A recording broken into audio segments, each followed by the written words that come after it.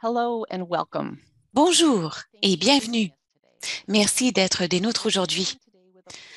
Nous commençons aujourd'hui par un sondage que vous devriez voir à votre écran et je vous invite à répondre à ce sondage.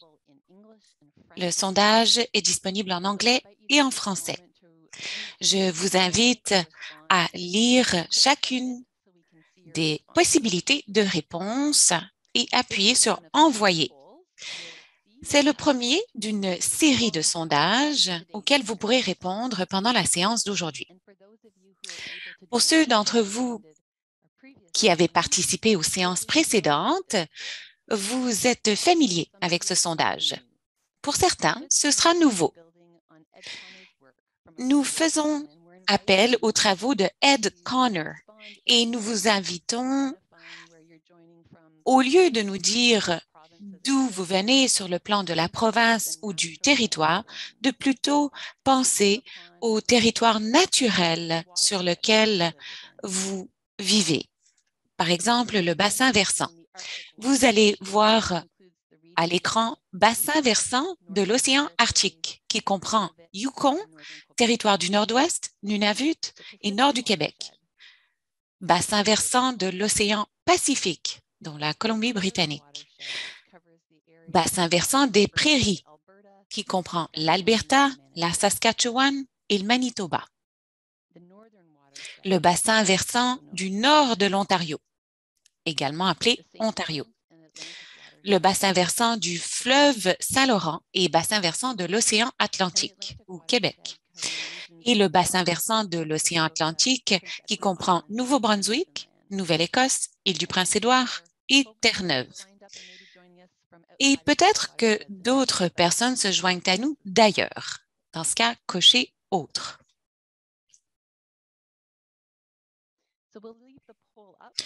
Alors, nous laissons le sondage affiché encore quelques instants, mais nous allons commencer la séance d'aujourd'hui.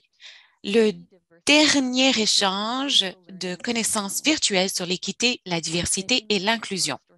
Si vous avez raté la première ou la deuxième séance, ces enregistrements sont disponibles sur le site Internet de ESC et les participants inscrits à cette série auront également reçu un courriel comportant un lien vers l'enregistrement.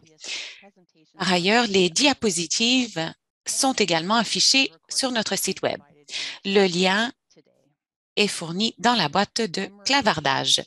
Je suis Maria Judd et je suis vice-présidente des initiatives stratégiques et engagement à Excellence en santé Canada.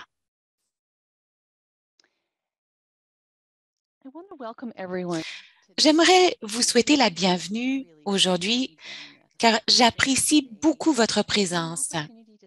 Merci de mettre de côté ce qui vous occupe tous les jours pour réfléchir avec nous à ce que nous pouvons apprendre et désapprendre ensemble.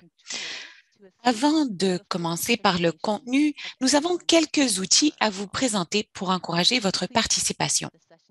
Veuillez noter que cette séance est enregistrée et que l'enregistrement ainsi que les diapositives et l'enregistrement seront disponibles après la séance. Au cours de la séance, nous invitons tous les participants à partager réflexions et questions dans le clavardage.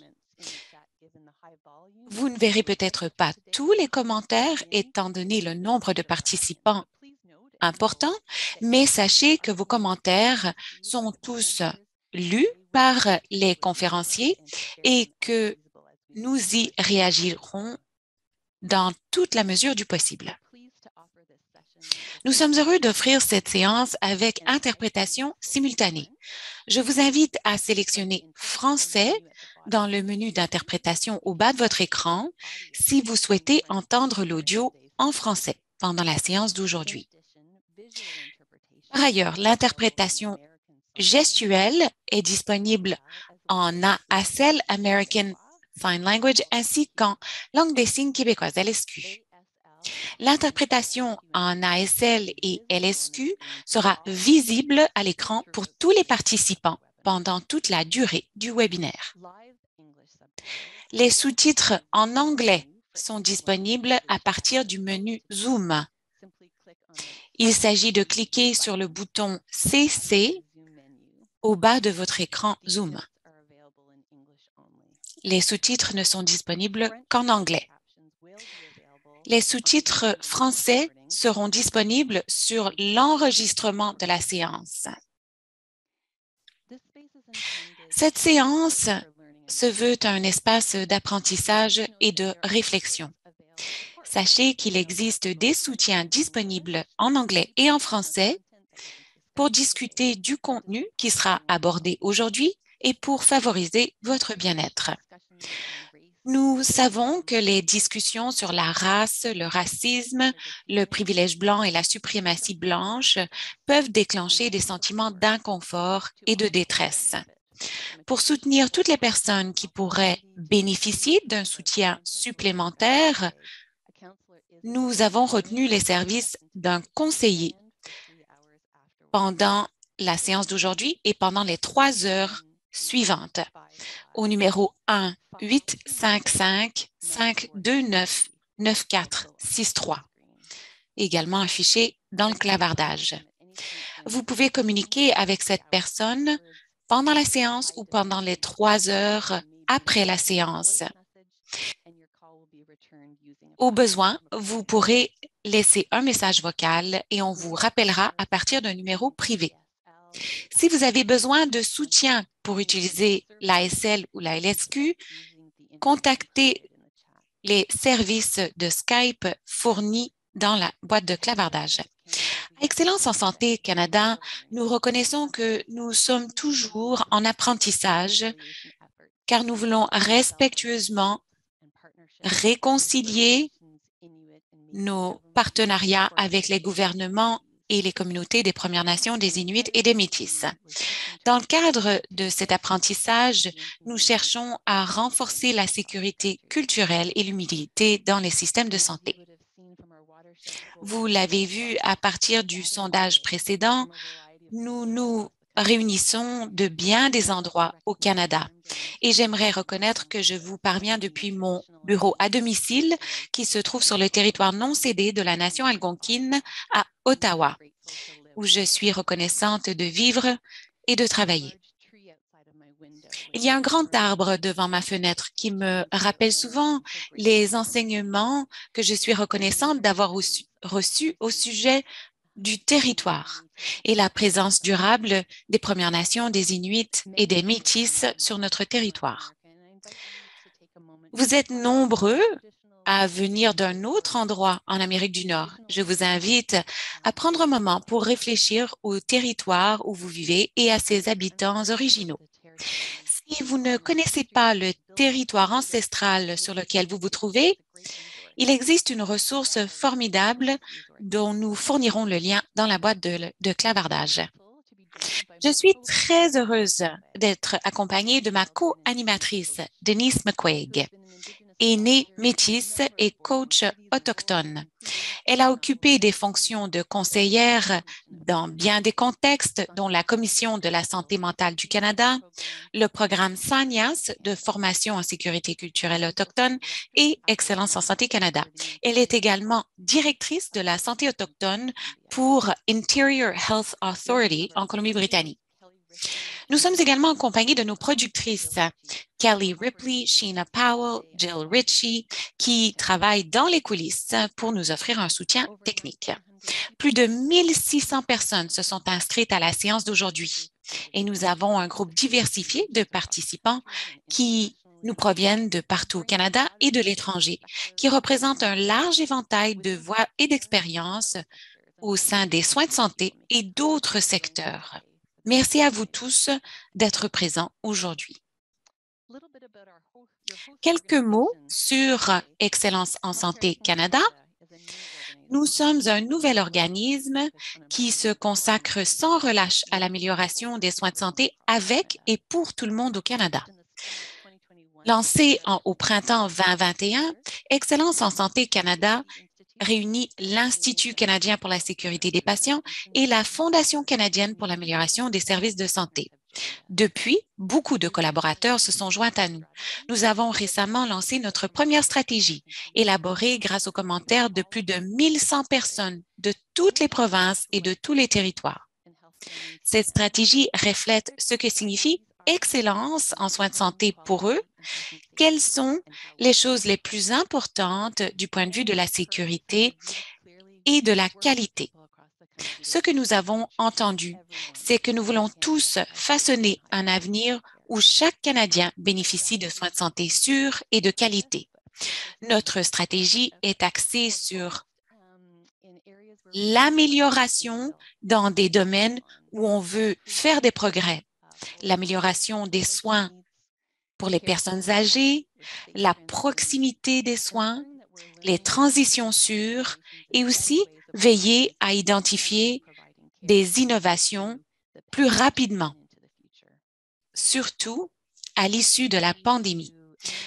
Je vous invite à consulter notre stratégie, nos programmes et services et les ressources dont nous disposons sur notre site Internet. Nous travaillons avec des gens partout au Canada pour identifier des innovations et accélérer leur diffusion nous souhaitons changer les politiques pour encourager des améliorations durables à grande échelle. L'approche d'excellence en santé Canada vise à améliorer la compréhension de l'équité, de la diversité et de l'inclusion. C'est un voyage permanent d'apprentissage et de désapprentissage.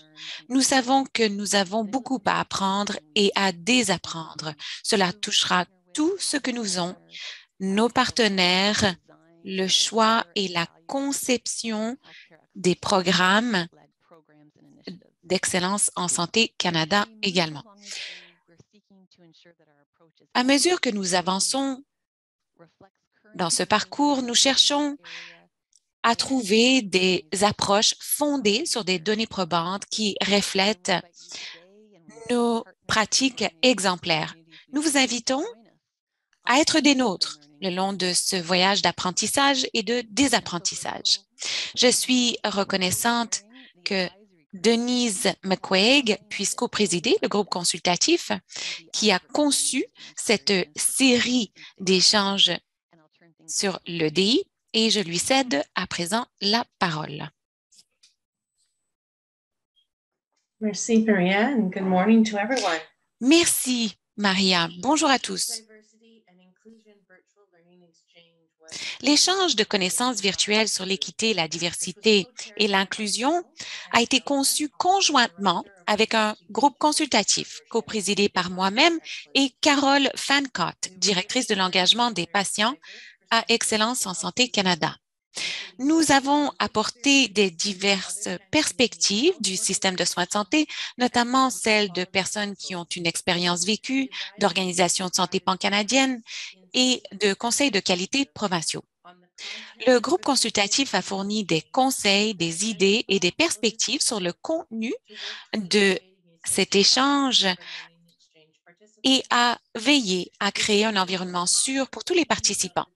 Le groupe consultatif a passé beaucoup de temps à réfléchir aux défis et à la sécurité personnelle de chacun et les défis associés aux privilèges. Je suis très heureuse qu'Excellence en santé Canada ait suivi les conseils de notre groupe et ait fourni des services de counseling,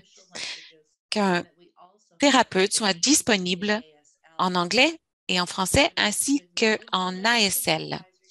Je tiens à saluer les membres du groupe consultatif et à les remercier pour leur conseil. Merci à Tammy, Audrey, Anila, Salima, Claudia, Kabisha, Amy, Jenny, B, Amy et Jill pour euh, tous vos commentaires. Je crois que grâce à vous, nous aurons une séance formidable.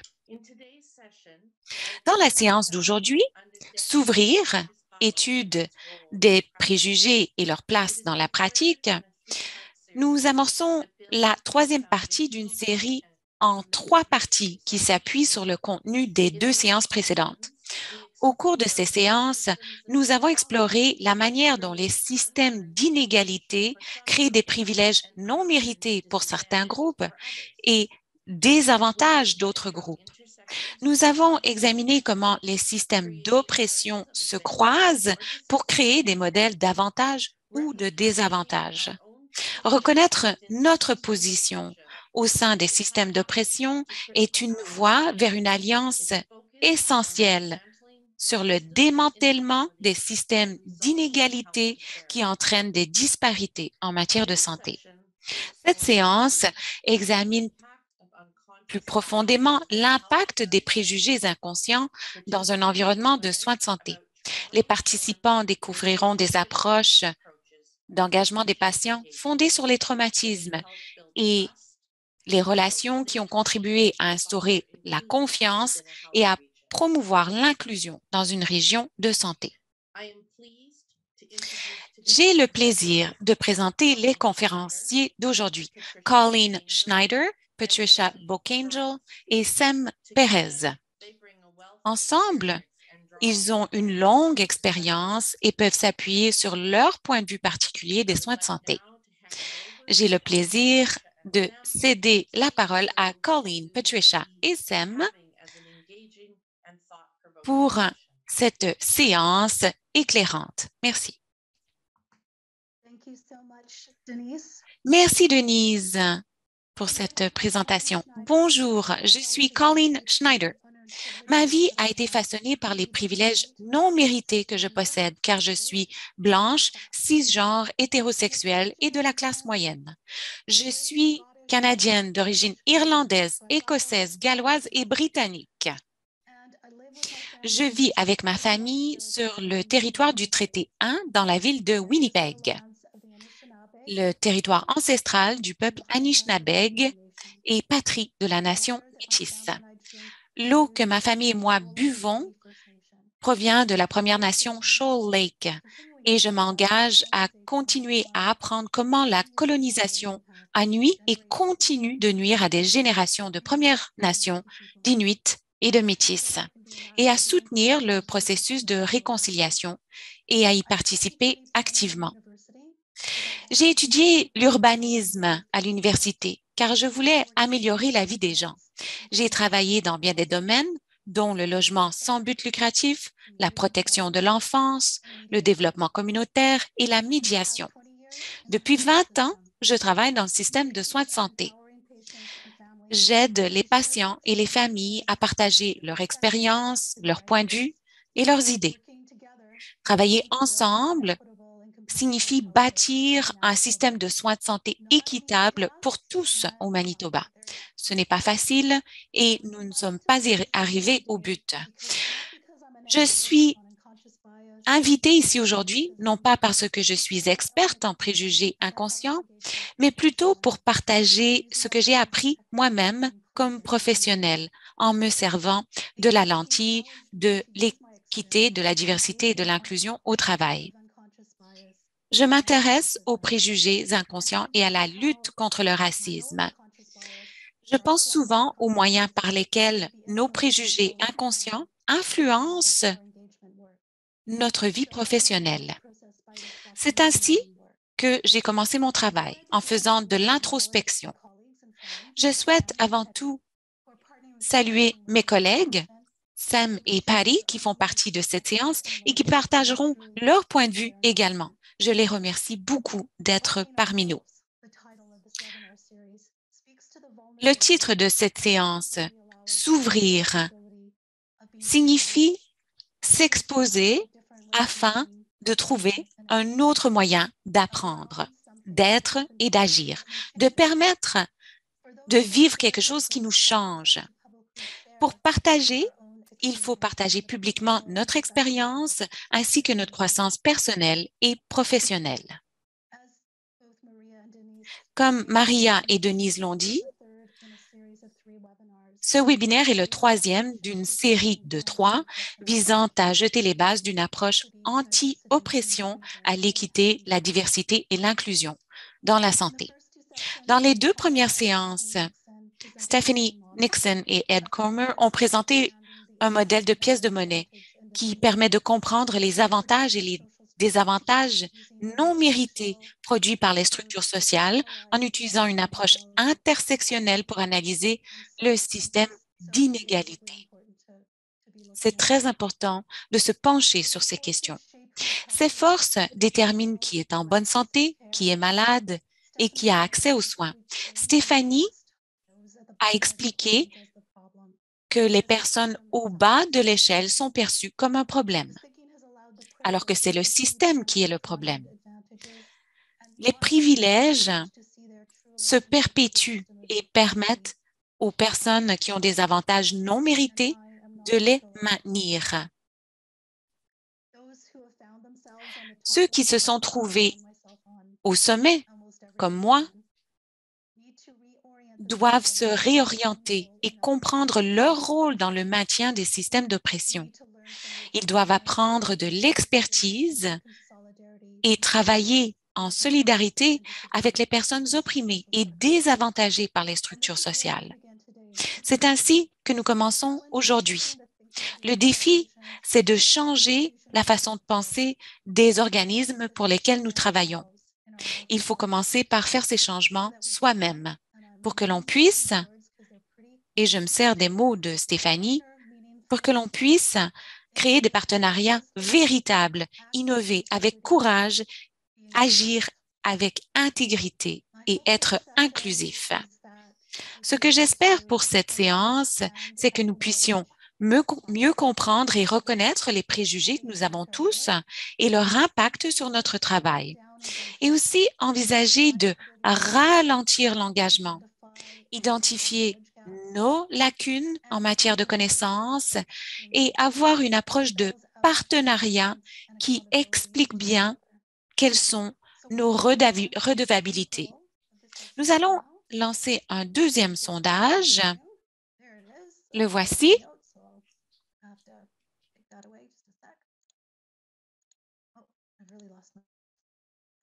Excusez-moi, j'ai perdu mes notes. Me revoici. Alors, nous voulons savoir ce que vous savez des préjugés inconscients, si c'est un nouveau thème pour vous ou non. Peut-être que c'est nouveau, que vous n'en avez jamais entendu parler, peut-être euh, en êtes-vous conscient, savez-vous de quoi il s'agit, peut-être que vous avez déjà fait de l'introspection, peut-être que vous avez même commencé à penser à l'impact des préjugés sur votre travail. Alors, prenez un instant pour répondre à cette question. Nous allons vous donner une minute environ pour répondre. Si vous n'avez pas le temps de répondre avant que le sondage ne prenne fin, vous pouvez saisir votre réponse dans le clavardage. Bon, je ne vois plus le sondage moi-même.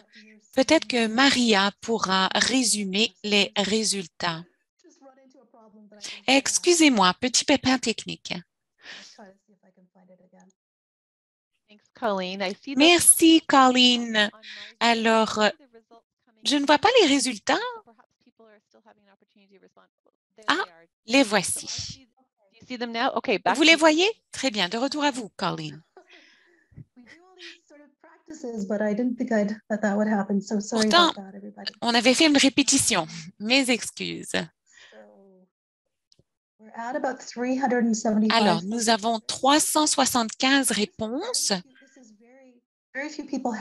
Très peu de personnes n'ont jamais entendu parler de préjugés inconscients. Je suis très heureuse de voir que les gens répondent honnêtement um, et de voir que certaines personnes ont déjà commencé à réfléchir à l'incidence des préjugés sur leur travail. Merci d'avoir répondu.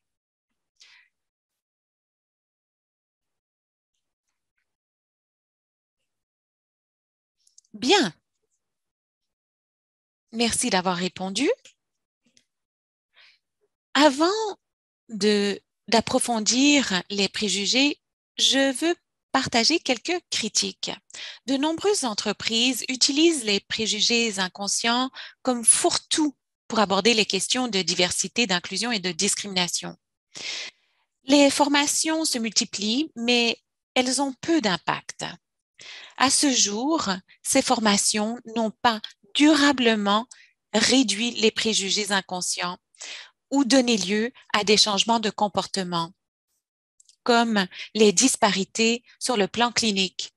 J'ai beaucoup à dire, malheureusement, j'ai trop peu de temps, mais il existe des exceptions. Certaines interventions ont été faites de manière empirique auprès des étudiants et des travailleurs de la santé et l'information sur les préjugés inconscients ont parfois un impact positif. Le racisme et d'autres formes de discrimination ne sont pas qu'un problème interpersonnel. Le racisme est un problème systémique qui exige des changements de système. C'est beaucoup plus facile pour les organismes d'offrir une formation sur les préjugés inconscients plutôt que de faire le travail en profondeur qui s'impose.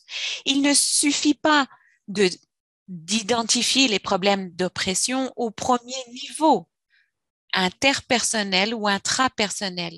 Il faut comprendre comment la société a façonné nos perceptions, celles des gens qui nous ressemblent et celles des gens qui ne nous ressemblent pas. Croyez-vous que cela peut nous aider au travail? Je crois que oui. Approfondissons le préjugé. La majorité d'entre nous sommes conscients des préjugés explicites que nous appelons racisme, sexisme, homophobie, agisme, handicap, mais peu de nous sommes conscients des préjugés inconscients qui se manifestent quotidiennement.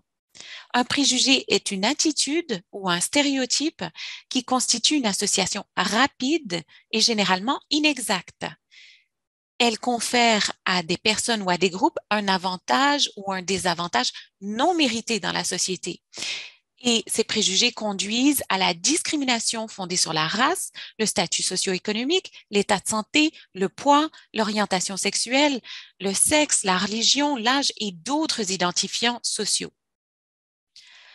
Le préjugé inconscient, quant à lui, se produit à un autre niveau, tout à fait inconscient comme pour le préjugé manifeste, c'est un jugement rapide fondé sur la race ou d'autres éléments identifiables et comme pour le préjugé conscient, il peut être positif ou négatif. Le préjugé inconscient affecte notre compréhension, nos actions et nos décisions d'une manière dont nous ne sommes pas conscients. Et tout le monde peut en être coupable, bien que cela puisse être invisible, c'est évident pour les gens qui en sont victimes. Tant qu'on n'accepte pas qu'on est tous coupables de ces préjugés inconscients, on ne peut pas les affronter. Ces préjugés inconscients se manifestent sous forme de micro-agressions subtiles, verbaux, non verbaux. Ce sont des rebuffades, des insultes, des messages hostiles, dérogatoires ou négatifs. Les micro-agressions peuvent se répéter jour après jour. Ils sont dégradants et nuisibles. L'impact le plus important se manifeste sur les politiques qui permettent le statu quo.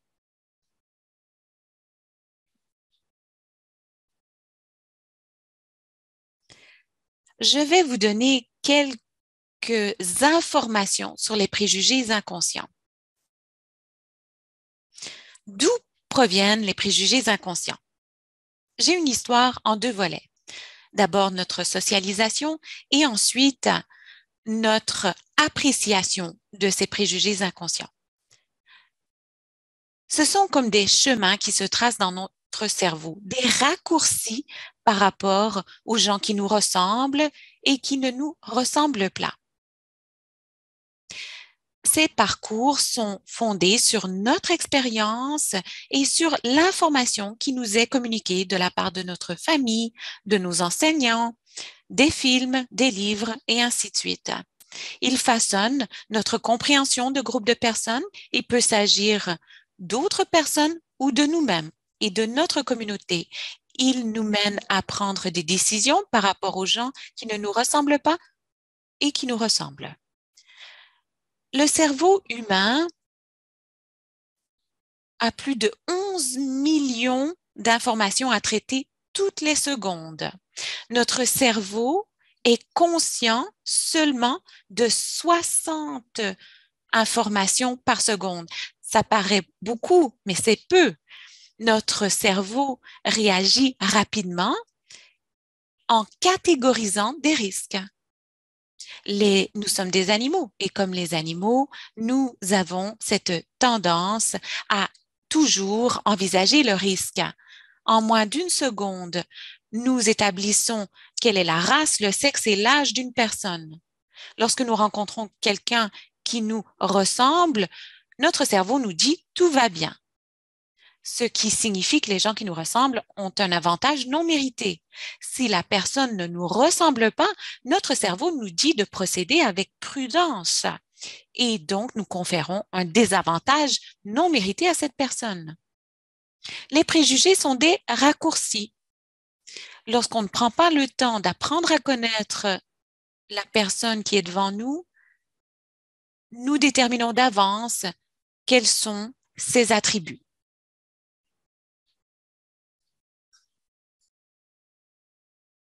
Il y a quelques années, nous avons discuté de ces biais inconscients euh, sur les résultats des patients. C'est arrivé lorsque l'organisation pour laquelle je travaillais n'était pas prête à reconnaître honnêtement qu'il existait du racisme dans la santé. Mais il était prêt à étudier les préjugés inconscients. Moi, j'en ai profité pour euh, commencer le travail qui devait être fait. Nous n'avons pas découvert quoi que ce soit de nouveau. On l'avait entendu des patients et du personnel. Lorsque nous avons commencé à travailler sur la question des préjugés, nous avons également étudié le système tout entier, ce qui était en place, la culture, les raisons pour lesquelles les gens n'étaient pas en sécurité. Il y a eu des ateliers avec euh, des représentants du public et du personnel, les participants ont expliqué que ces préjugés inconscients arrivent à tous les niveaux dans la santé, depuis le tout début jusqu'à la fin du parcours du patient. Ça peut représenter un déni de soins, des recommandations inadéquates, un traitement inadéquat et du coup, ils se sentent non respectés, il y a une coupure dans la communication, les résultats sur la santé sont pauvres et dans le pire des cas, ils se retrouvent à décéder de façon prématurée. La recherche a montré qu'il y avait une relation directe entre les préjugés inconscients et la qualité des soins la sécurité des patients et les inégalités croissantes. Les prestataires de santé se retrouvent avec euh, leurs propres préjugés inconscients, la nécessité de faire une évaluation, le stress de leur travail, et beaucoup n'ont pas le temps de se pencher sur leurs propres préjugés. Ils n'ont pas le temps d'écouter suffisamment le patient pour savoir exactement de quoi il a besoin. est-ce que ces préjugés peuvent euh, influencer la façon dont on se comporte C'est certain. Réflexion critique, il faut qu'on étudie nos propres valeurs, nos hypothèses et savoir à quel point elles ont été influencées par le système tout entier. Elles reconstituent l'oppression et les privilèges. Comment savoir euh, comment nos propres préjugés influencent notre travail? Comment peut-on mesurer notre efficacité? Est-ce que ces préjugés n'avantagent pas ceux qui nous ressemblent et ne désavantagent pas ceux qui ne nous ressemblent pas? Il faut reconnaître comment tout cela influence notre comportement sans parler des sujets que nous abordons et la façon dont on les aborde. Tout cela peut être influencé par notre propre expérience il y a peut-être des aspects qu'on ignore complètement face à des gens différents de nous. Pensez à la façon dont, dont les préjugés influencent votre façon d'exercer votre travail, comment elles influencent les différentes étapes de la mobilisation et surtout, question importante, est-ce que mon travail reconstitue le statu quo, c'est-à-dire confirme les privilèges, ou bien est-ce que je fais partie de ceux et celles qui veulent changer le système? Nous voulons capter autant d'expériences que possible et faire la collecte d'un maximum d'idées. Que faire dorénavant? Il faut reconnaître, pour commencer, nos propres préjugés. Alors, il est temps maintenant de passer au troisième sondage. C'est un sondage légèrement sensible dans le sens où il est très personnel. Si vous avez envie plutôt de réfléchir sans répondre aux questions, c'est tout à fait acceptable. Quels sont donc les préjugés dont vous devez prendre conscience et que vous devez éliminer Vous avez une liste de préjugés générationnels, race, capacité, gendre, affinité.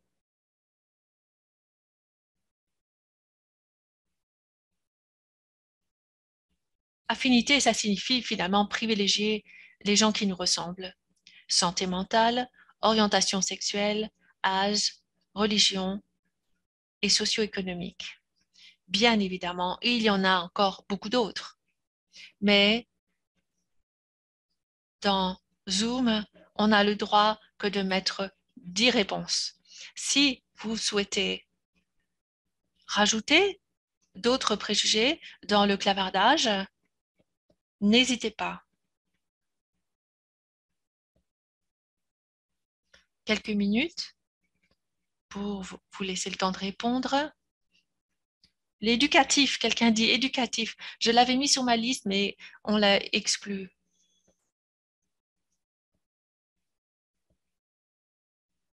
Habilité, n'est-ce pas? Oui, c'est en français capacité. Ça y est. Est-ce que les réponses commencent à arriver? Vous constatez que, oui, bien sûr, euh, le genre évidemment il faudrait demander euh, à Zoom de rajouter plus de réponses possibles parce que finalement, il y en a une foule Voilà, vos réponses. On en a identifié plein générationnel, la façon dont on regarde les jeunes, les plus âgés, les aînés. On reconnaît aussi que nous avons euh, des préjugés défavorables par rapport à des gens qui ne sont pas de la même race que nous. Vous savez, la première des choses, c'est déjà d'avoir le courage de les identifier. Le préjugé d'affinité. J'aurais dû expliquer cela. C'est quelque chose qui me concerne particulièrement. Oui, quelqu'un dit le poids, c'est aussi le cas. Moi, pour moi, l'affinité, c'est un petit peu avantager des gens qui nous ressemblent. Vous vous entourez de gens qui vous ressemblent. Des gens qui ont eu des expériences de vie, semblable à la vôtre.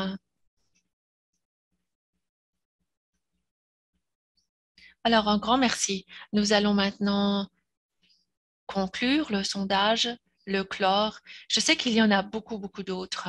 Merci d'en avoir mentionné certains.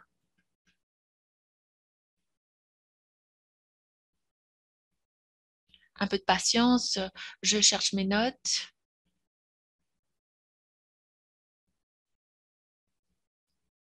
Quelles sont les mesures que nous pouvons prendre pour euh, interrompre ces préjugés? Il faut réfléchir. C'est déjà ça. C'est un travail difficile, surtout au début. Il y a des gens qui ont entamé la réflexion et ils se sont rendus compte à quel point c'était difficile. Je comprends tout à fait. C'est difficile mais important. Il faut réfléchir à la façon dont nous jugeons les gens.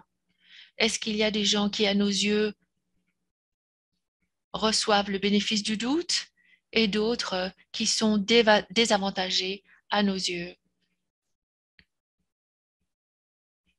J'appelle ça un parcours. L'inconscient doit devenir conscient. Il est important de se demander si on a des stéréotypes raciaux. Et si c'est le cas, d'où viennent-ils? Il faut se renseigner, il faut s'informer. Il faut interrompre les préjugés et nos hypothèses doivent susciter de la curiosité plutôt que de supposer des choses sur quelqu'un de différent. Pourquoi ne pas se renseigner? Pourquoi ne pas leur demander quel est leur parcours, quelles sont leurs passions? Il faut surveiller l'effet qu'ont nos préjugés sur notre jugement, sur la façon dont on choisit nos amis et autres et donc, euh, il faut faire une pause dans la vie pour y réfléchir. Et lire. Vous savez, la lecture est fondamentale. Lire et aussi parler. Parler aux gens du racisme, des théâtres. On apprend beaucoup de choses. L'art. Rapprochez-vous des gens différents de vous. Maintenant, nous allons travailler sur euh, l'engagement et la mobilisation. Je crois que je l'ai déjà mentionné. Pensez à la façon dont vos préjugés influencent votre travail. Qui est concerné lorsque vous parlez de planification, d'engagement? Est-ce que vous êtes ouvert? Est-ce que vous avez pensé à inclure tout le monde? Quelles sont les voix qui parlent le plus fort lorsqu'il s'agit d'exprimer des opinions?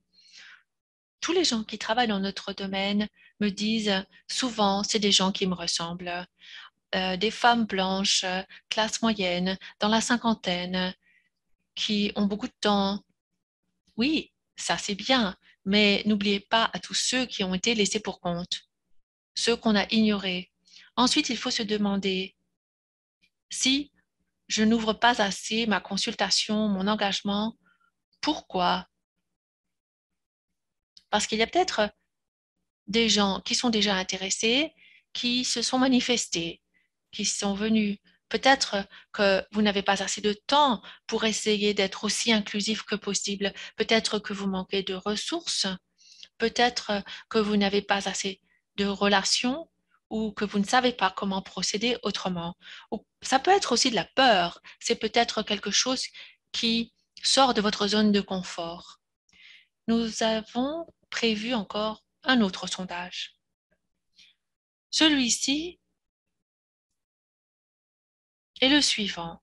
Que pensez-vous du caractère inclusif et général de votre engagement dans votre travail? Vous avez une série de possibilités. Je ne sais alors ça peut être je ne sais pas, pas très bon, plutôt bon, très bon et excellent. Choisissez l'endroit où vous vous placez. Moi, je me place genre, je me j'aurais pas la prétention de dire excellent. Parfois, je suis très contente de moi, mais parfois, je me je qualifierais de pas très bon non plus. Dans certaines activités d'engagement, parfois on est sous pression, manque de temps.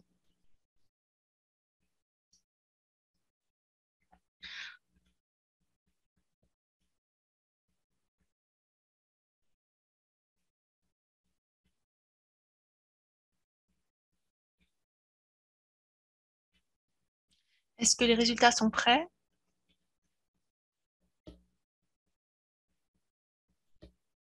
Ah, écoutez quand même, hein, vous êtes la moitié à dire plutôt bon. Certains ont mis excellent, 1%. Très bien. Il y a des gens qui disent je ne sais pas et d'autres pas très bon. Je crois que ça a été le cas de tout le monde à un moment ou à un autre. Merci. Merci d'avoir partagé votre parcours avec nous. Nous allons clore le sondage maintenant. Diapo suivante.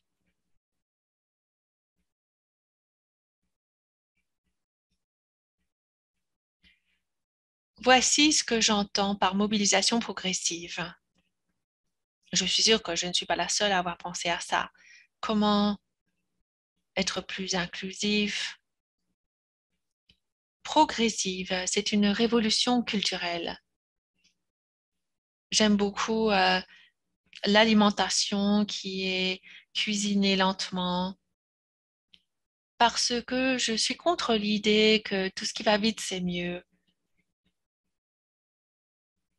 On n'est pas non plus obligé de travailler à une lenteur euh, euh, fatigante. Au contraire, simplement prendre le temps qu'il faut pour faire quelque chose.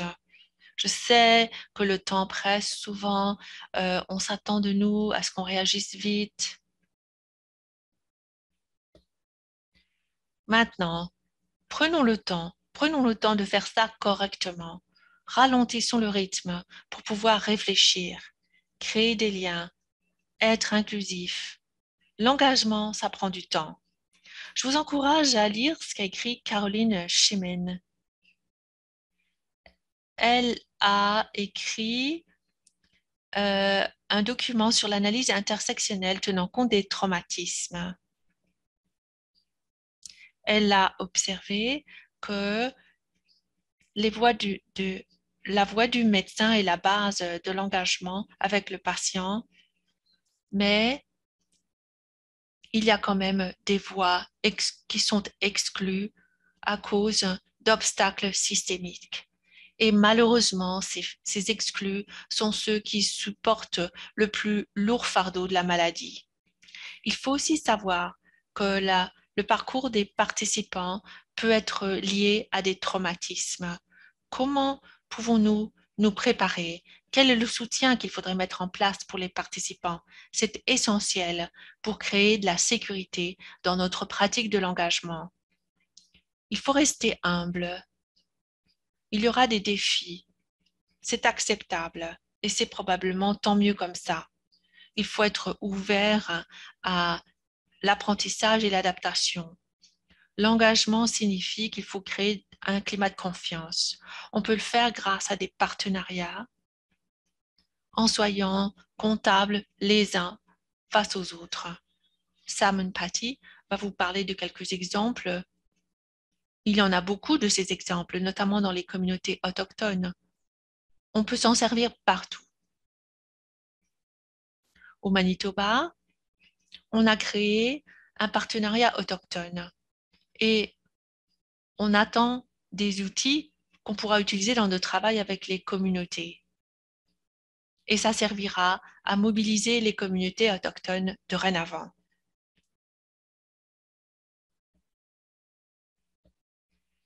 Maintenant, je voudrais vous parler de la façon d'interrompre les préjugés dans l'engagement. Lorsqu'on fait de la planification, il faut se demander qui sont réellement nos partenaires, qui seront les gens concernés, il faut que ces engagements soient pris.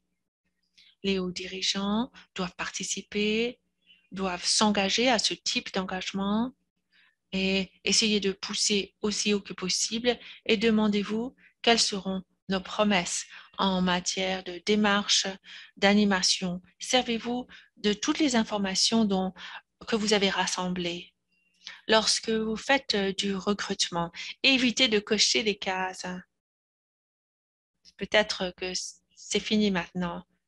Créer des relations en tant que partenaire, il faut se demander s'il faut aller de l'avant si nous n'avons pas l'accord ou la participation des gens concernés. Ça, c'est important. S'il y a des gens concernés qui ne sont pas présents, est-ce que cela ne signifie pas qu'on n'a pas fini notre travail, qu'il faut continuer à engager? Et peut-être que la fois d'après, il faudra revenir sur la façon dont on a procédé. Ensuite, il faut choisir la meilleure approche. Il y a toutes sortes de méthodes possibles. Celle qui permettre plus d'inclusion, de partage, des cercles de partage, des entretiens en tête-à-tête, des démarches basées sur l'art, la co-conception. Et lorsqu'on crée des questions, il faut travailler sur les forces. Bon, ça ne signifie pas, qu'il faut entièrement ignorer tout ce qui ne fonctionne pas, tout ce qui est négatif, mais il faut quand même travailler aussi sur ce qui est positif, c'est-à-dire ce qui fonctionne bien, comment capitaliser là-dessus. Et lorsqu'on fait de l'animation et de l'engagement, de la mobilisation, il faut aller dans la collectivité, car c'est l'occasion de gens qui ne s'expriment pas très souvent. En tout cas, soyez le plus proche possible de la collectivité. Obtenez des commentaires, du terrain. Dites aux gens à quel point vous appréciez leur rétroaction, leur participation, interprétation, couvrez leurs dépenses et surtout, si il y a engagement, il faut que ce soit accessible. Il faut aussi que la documentation soit accessible. Et l'idéal, c'est d'avoir des gens dans la collectivité qui animent. Ensuite, s'il y a des rapports, il y a l'évaluation, suivi, rétroaction. Ça aussi, ce sont des éléments importants. Faites le suivi. Demandez-vous comment on peut continuer à approfondir les relations. Quelles sont les étapes suivantes? Bon, en fait, je vous ai donné beaucoup, beaucoup euh, d'idées c'était ça l'idée. J'aimerais que nous ayons un dialogue sur euh, l'engagement dans le cadre des partenariats et les démarches basées sur euh, les traumatismes. Je suis maintenant prête à donner le relais à d'autres au Canada et c'est maintenant euh, le moment pour moi de donner la parole à Sammy Patty. Ce sont des personnes fascinantes, intelligentes. J'ai hâte d'écouter leurs témoignages. Nous allons commencer par Sam. Bonjour, Colline. Merci. Je, je viens des Philippines et je suis arrivée au Canada avec ma famille en 2015. Je suis aujourd'hui, en ce moment, technicien en sciences aquatiques à pêche et océan. J'ai fini mon diplôme en biochimie à l'Université du Manitoba, où j'ai travaillé comme coordonnateur des programmes étudiants dans Community Engaged Learning, un bureau qui offre des programmes de bénévolat aux étudiants, qui leur permet donc de travailler main dans la main avec des organismes communautaires locaux et internationaux. J'ai surtout travaillé dans la programmation et l'engagement avec des agences locales dans les secteurs euh, nord et sud-ouest à, Winnipeg. Au début, j'ai commencé à travailler avec Colline en tant que conseiller public dans l'un des locaux de participation à la santé. Ensuite, je vous expliquerai maintenant quelle a été mon expérience et après ça, suite à mon expérience en matière d'engagement communautaire, je vous donnerai, si vous le permettez, mon opinion personnelle sur ce qui constitue un environnement sûr et inclusif. Et peut-être que je pourrais donner quelques conseils sur euh, la façon éthique de s'engager. Donc, je ne suis pas spécialiste. Par contre, je suis prêt, prêt à partager mon expérience avec tout le monde aujourd'hui. Donc, euh, revenons-en à l'expérience. Ce, groupe euh, s'appelle Local Health Involvement. Ce sont des gens qui, viennent de diverses communautés, d'ethnies, cultures, sexes différents. Et nous voulons créer un espace où chacun peut donner son avis sur des sujets de santé qu'on considère comme pertinents et répandus. L'un des sujets dont nous avons parlé en 2020, c'est euh, les préjugés inconscients dans le système de santé. Bon, ce groupe, je dirais que c'est un groupe euh, où il y a de l'équité, du respect. J'étais à l'époque euh, étudiant, je faisais partie d'une minorité visible, je suis philippin et homosexuel, mais j'ai aussi beaucoup, beaucoup d'anxiété. Alors, le premier jour, avec tout ça, je dois vous avouer que j'étais hyper intimidée lorsque j'ai vu la diversité des, des membres de la communauté, j'étais intimidée par leur expertise et compte tenu de ma personnalité, il y avait certainement une menace au niveau du stéréotype et j'avais l'impression d'être un imposteur. Et ce syndrome de l'imposteur, c'est probablement parce que j'avais eu des expériences avant ça. Cependant, il y a eu des opportunités de collaboration avec ce groupe. J'ai trouvé la communication ouverte. Je me sentais dans un espace sûr et équitable. Et ça, ça a été euh, un travail de tout le monde. Malgré tout ça, je me suis retrouvée dans un environnement où j'ai compris que j'avais le droit de faire des fautes, des erreurs. Et dans ce cas-là, j'ai mieux compris euh, comment je me positionnais par rapport aux autres. C'est là que j'ai pu euh, me débarrasser de certains préjugés implicites que j'avais face aux autres.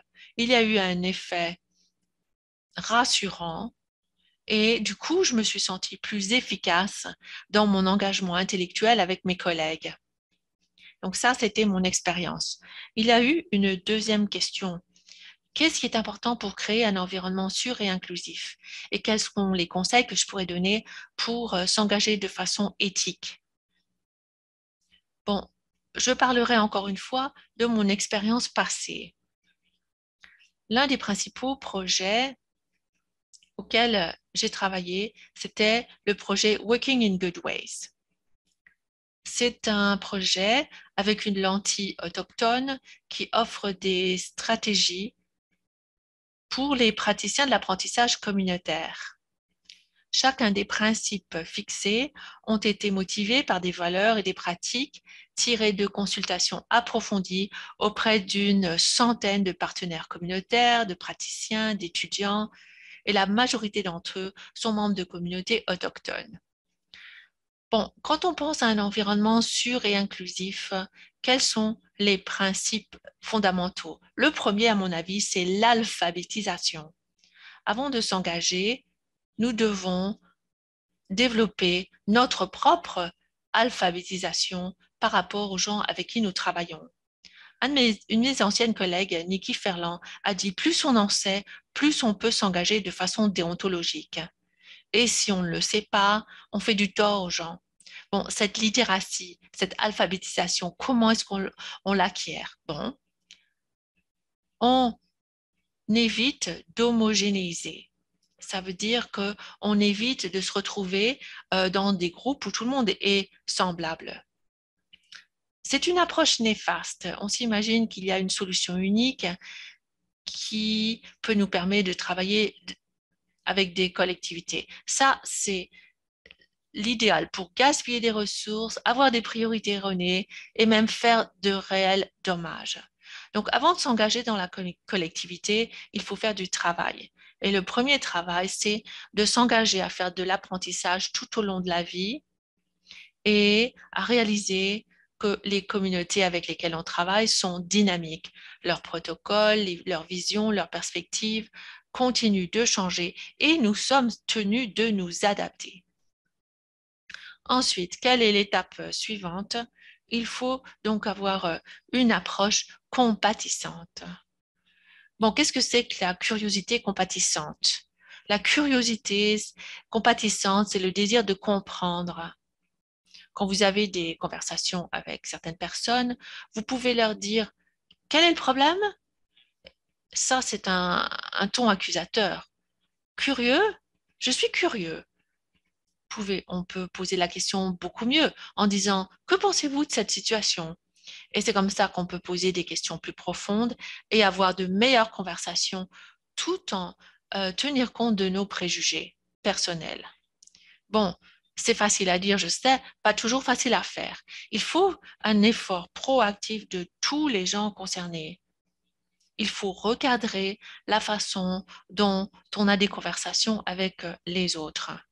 Donc, avec cette curiosité bienveillante, on peut avoir une meilleure collaboration. La collaboration qui est justement à la base du principe euh, working in good ways. Voici ce que j'ai appris de mes collègues. L'engagement communautaire comprend une vision critique, anti-oppressive et anticolonialiste. Bon, il faut résister au complexe du sauveur. Qu'est-ce que c'est Ce complexe, c'est une approche caritative basée, intéressée, parce qu'on place à tort les détenteurs du pouvoir comme des experts et on renforce l'illusion que les communautés ne sont pas expertes. Au lieu de ce complexe du sauveur, il faut se baser sur nos forces en créant un environnement sûr et inclusif.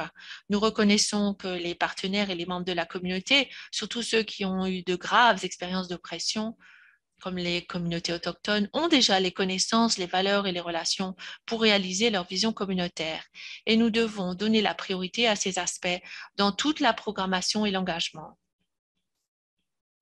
Ensuite, en établissant un environnement inclusif, nous devons favoriser les relations et les, les réseaux diversifiés. Ça signifie que chacun doit pouvoir créer des relations avec euh, des personnes, euh, des bénéficiaires, des décideurs, on peut avoir euh, des, activités brise-glace, euh, des, discussions de mentorat, et nous devons aussi nous rappeler qu'il faut non seulement inclure les détenteurs du pouvoir, mais beaucoup plus les bénéficiaires et participants en tant que décideurs. Dans ce domaine, l'engagement communautaire est nécessaire pour démanteler l'hypothèse implicite selon laquelle ces personnes manquent de pouvoir, car cela peut conduire à la marginalisation et limiter leur auto-efficacité. Je résume, c'est une, véritable inclusivité, c'est partager le pouvoir avec tous les gens concernés, prise de décision, euh, conception du programme, etc. Faire tout ce travail signifie humilité.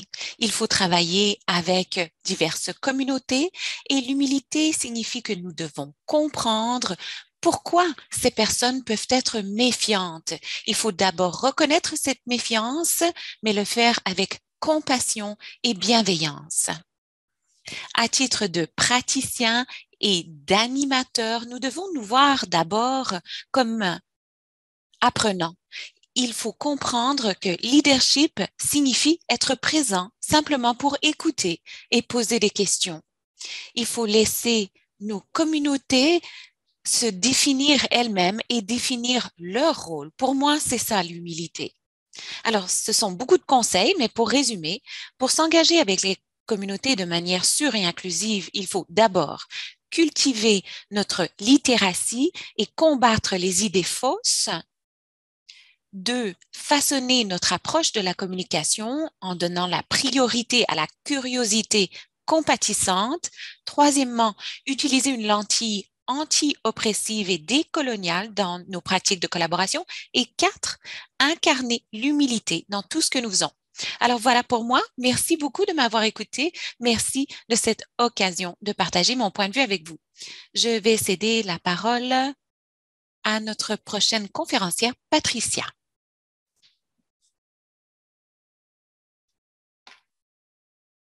Merci, Sam. Excellente réflexion.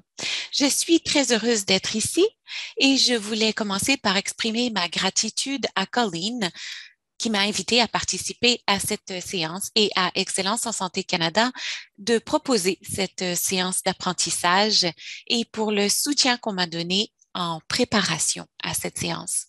Je suis Patricia Bocangel et je suis métisse cisgenre d'Amérique du Sud. Je suis d'ascendance autochtone et européenne à la suite de la colonisation du Pérou par les Espagnols. Je suis arrivée au Canada au début des années 2000 et je suis reconnaissante de pouvoir me sentir chez moi au Canada. Je vis sur le traité 1, le territoire du peuple métis, et je suis engagée à agir au service de la réconciliation sur le plan personnel comme professionnel. J'ai travaillé à Action Cancer Manitoba pendant dix ans et je suis dans le domaine des soins de santé depuis 15 ans. Il y a deux ans, mon portefeuille s'est élargi et je suis maintenant responsable des populations mal desservies, un programme qui aide Action Cancer Manitoba à offrir des soins équitables aux populations mal desservies par le système de santé. Grâce à mon travail dans le cadre de ce programme, je continue de me renseigner sur l'équité en santé, les façons de démanteler le racisme et l'importance de réagir de manière respectueuse aux populations mal desservies pour améliorer les soins que nous prodiguons. Je suis heureuse de faire partie d'une équipe incroyable, compétente et passionnée.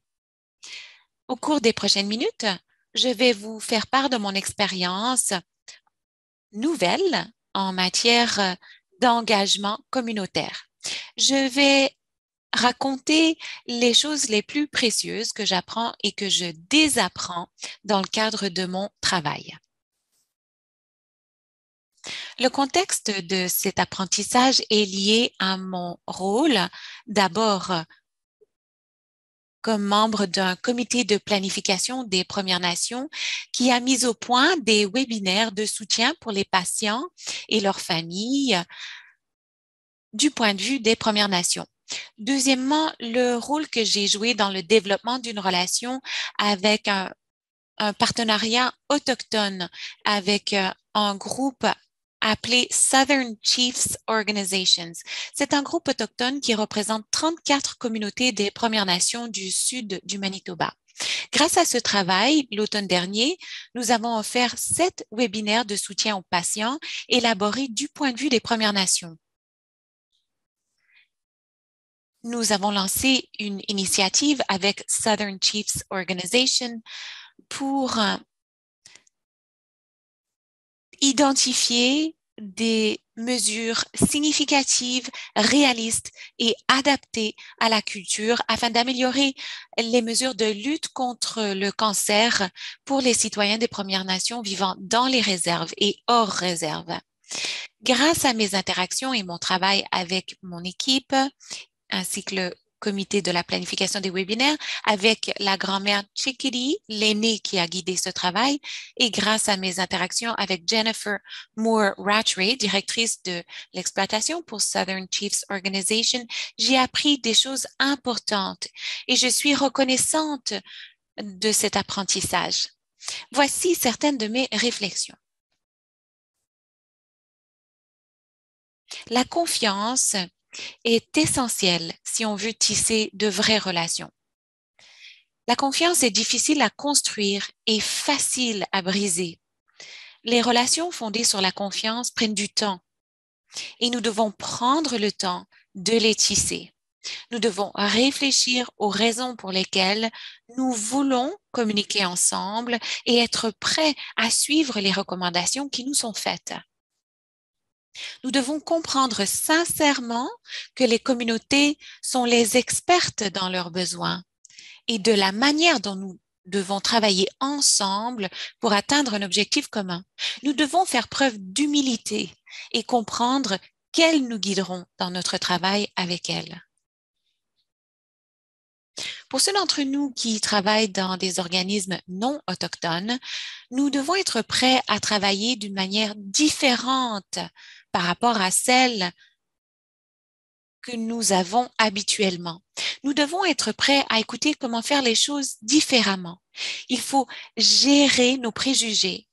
Nous devons être réceptifs à la rétroaction et ouverts à l'adaptation des processus existants pour pouvoir communiquer de manière efficace. Nous ignorons beaucoup de choses et il nous incombe d'apprendre nous pouvons le faire, par exemple, à l'école, en lisant des livres, en lisant des cadres, des lignes directives, en, écoutant des balades ou diffusions. Et il faut comprendre, même qu'une fois familier avec ces choses, nous aurons encore beaucoup de choses à apprendre. Et c'est parfaitement acceptable. Il faut travailler à se préparer, oui, mais aussi comprendre que nous ferons sans doute des erreurs, que nous devons les accepter présenter nos excuses et apprendre de nos erreurs, tandis que nous continuons de nous améliorer. Je me souviens du moment où j'allais rencontrer l'aîné Chickadee pour la première fois. Quand on travaille avec un aîné, il faut leur offrir du tabac en contrepartie de leur connaissance. J'étais nerveuse car je n'avais jamais offert de tabac auparavant. En lisant les protocoles culturels concernant les aînés sur un site web d'une université canadienne, j'ai appris qu'en offrant du tabac, je devais le poser devant l'aîné, car si je lui donnais directement, ce ne serait pas une offre qu'elle pouvait accepter ou refuser. En préparation pour ma réunion avec l'aîné, j'ai enveloppé le tabac dans un tissu rouge et je l'ai posé devant l'aîné sur la table et je lui ai offert. Elle m'a gentiment accepté, expliqué que c'était important pour elle que j'offre le, le tabac en le plaçant directement dans sa main, car de cette façon, elle pouvait ressentir l'énergie avec laquelle je lui offrais le tabac. Il y a quelques semaines, lorsque je lui parlais de ce récit, elle m'a expliqué que parfois l'esprit parle au travers du tabac. Alors, à ce moment-là, j'ai présenté mes excuses et je lui ai remis le tabac dans la main. Et je lui ai dit ce que j'avais appris sur le site web de cette université. Elle s'est montrée compréhensive et depuis, je place le tabac directement dans sa main quand je le lui offre. Alors voilà un exemple d'un apprentissage expérientiel très précieux. Il faut être ouvert à apprendre et à désapprendre. Je partage ce récit avec vous car c'est quelque chose de concret dont vous pourrez peut-être vous souvenir et qui vous paraîtra peut-être utile. Nous devons comprendre que chaque communauté est différente et que c'est le cas de chaque personne. Ce que nous percevons comme une priorité n'est pas forcément une priorité pour une autre communauté. Nous devons respecter cela et continuer de tendre la main avec patience et bienveillance. Les relations respectueuses sont réciproques. Elles doivent être alimentées en permanence. Une relation ne s'arrête pas non plus avec la fin d'un projet ou d'une initiative. Il faut continuer de garder le contact. Il faut continuer de s'entraider. Pour ceux qui travaillent dans des organisations non autochtones, c'est notre responsabilité, à mon avis, de partager nos apprentissages avec nos dirigeants pour renforcer la capacité de nos dirigeants, pour qu'ils comprennent mieux comment soutenir l'engagement d'une manière correcte et respectueuse. Pour ce faire, il faut s'armer de courage. Je vous encourage à lire Working in Good Ways. Il s'agit d'un cadre de ressources pour l'engagement de la communauté autochtone. Il s'agit de l'ouvrage auquel SEM a fait référence. C'est une excellente ressource très perspicace qui contient des enseignements importants à prendre en compte le long de votre périple de l'engagement. Pour résumer, quelques mots-clés me viennent à l'esprit quand je pense à un engagement respectueux. D'abord, confiance, temps, manière différente de travailler, adaptation, apprentissage tout au long de la vie et désapprentissage, hétérogénéité, priorité, réciprocité et entraide permanente. Continuez de partager vos connaissances et de contribuer au renforcement des capacités. Alors, voilà mes apprentissages et je vous remercie beaucoup de m'avoir écouté. À présent, je crois qu'il est temps de passer au dernier sondage.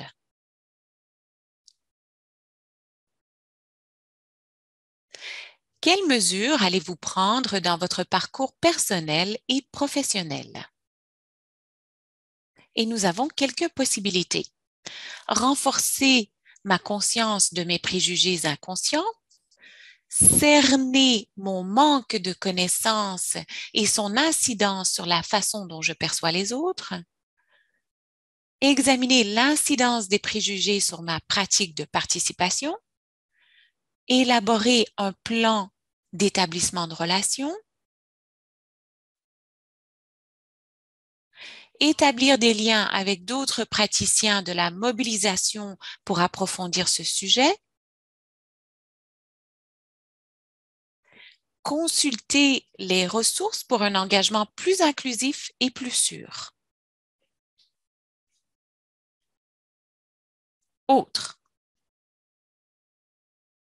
Et je ne suis pas certain ou pas certaine. Alors, patientons un petit instant que chacun puisse répondre.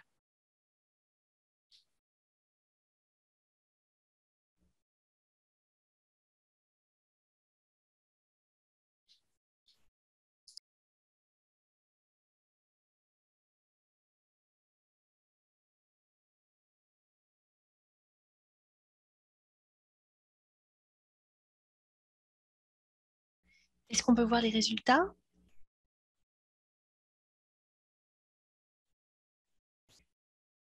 Très bien.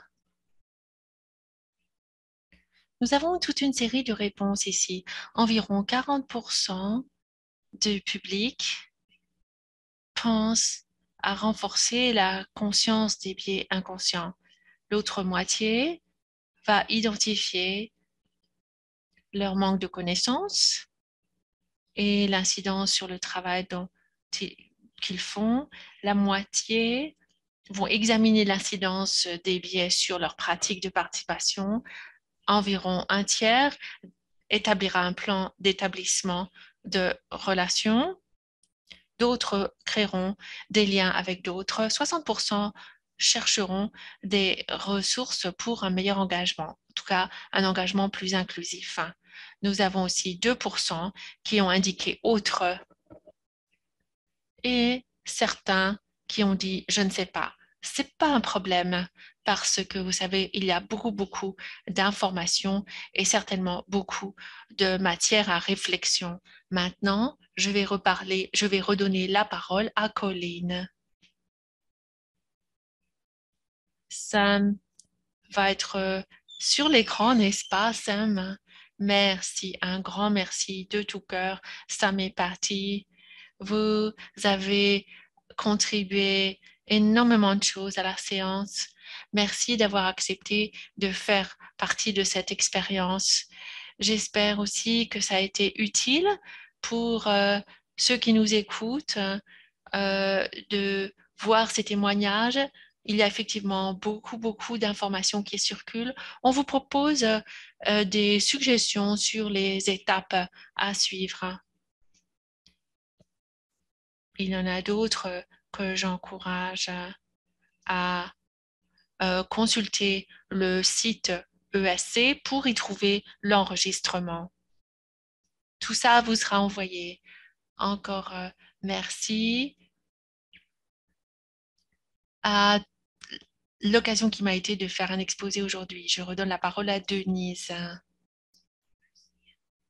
Un merci à tous, Colline, Patty. J'ai pris une tonne de notes pendant que je vous écoutais et voici les choses que je retiendrai. La première chose, ça a été la question qui a été posée au début, Colline. Nos préjugés inconscients, comment influencent-ils notre euh, travail dans l'engagement des patients.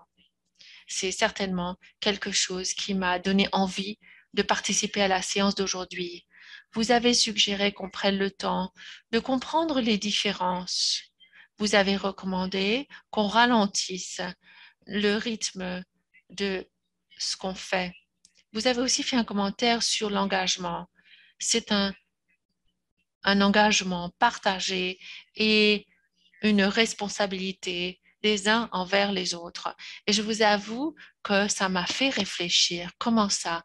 Un engagement et une responsabilisation commune conjointe, qu'est-ce que ça signifie? Ensuite, j'ai écouté attentivement Sam.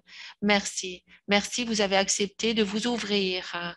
Vous nous avez parlé de vos expériences quand on vous a demandé de répondre à des questions sur la façon dont les soins de santé sont perçus. Et vous avez expliqué que vous avez été influencé par vos expériences passées et vous avez reconnu que vous étiez un peu mal à l'aise lorsque vous êtes arrivé dans un groupe de gens très différents de vous et l'idée qu'il y avait des gens qui étaient bien plus compétents que vous.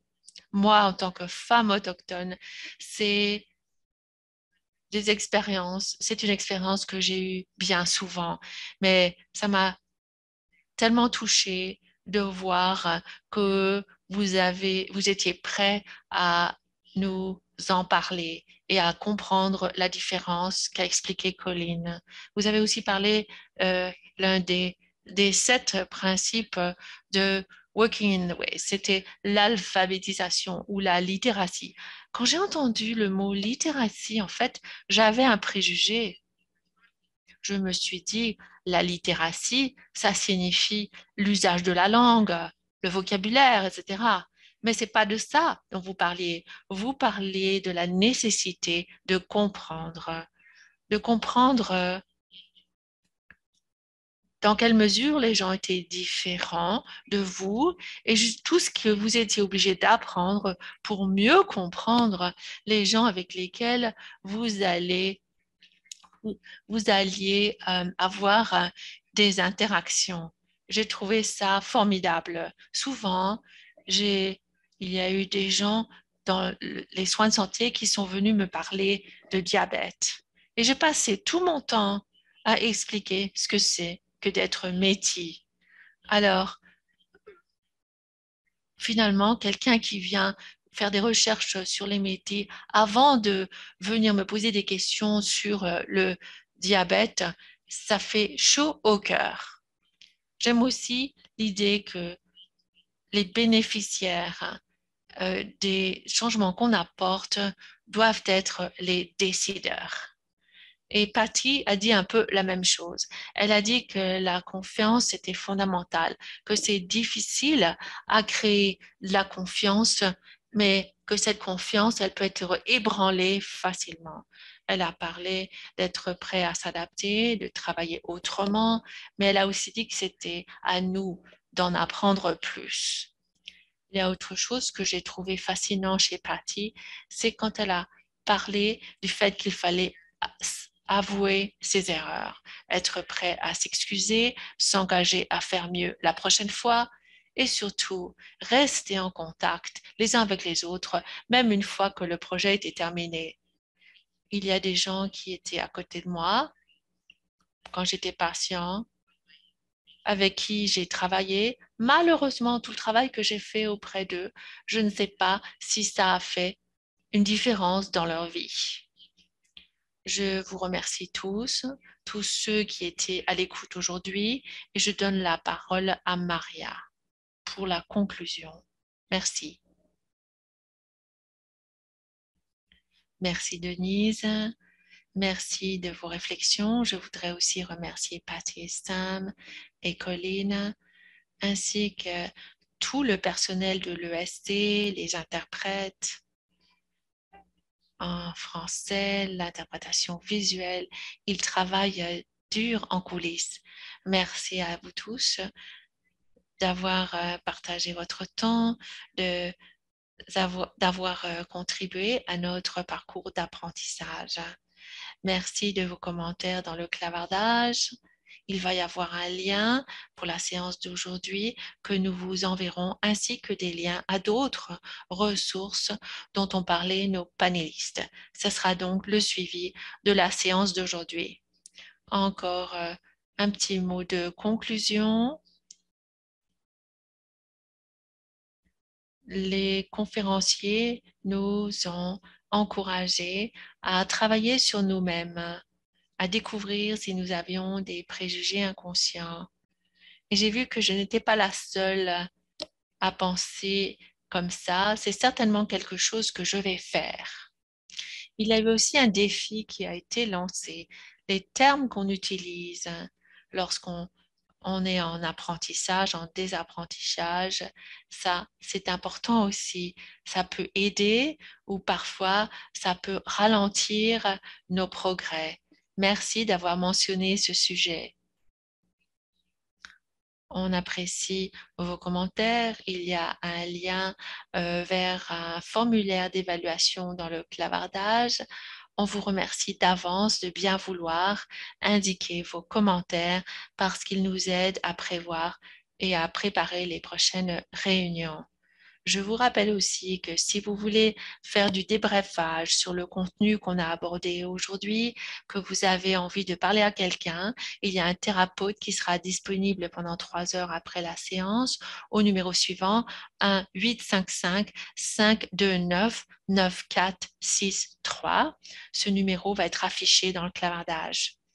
Je vous invite aussi à entrer en contact avec les membres de l'équipe de l'ESC si vous avez des idées à proposer sur des conférenciers futurs, si vous avez besoin euh, d'encadrement de, de notre part, notamment suite au cinquième sondage. Encore merci à tous les intervenants, Denise, le personnel, les interprètes et surtout vous tous. Merci d'avoir été à l'écoute dans ce processus d'apprentissage et de désapprentissage. Nous avons hâte d'entendre votre rétroaction partout au pays, tout ça pour améliorer la qualité des soins aux patients. Nous sommes arrivés à la fin de la séance d'aujourd'hui. Bonne fin de journée.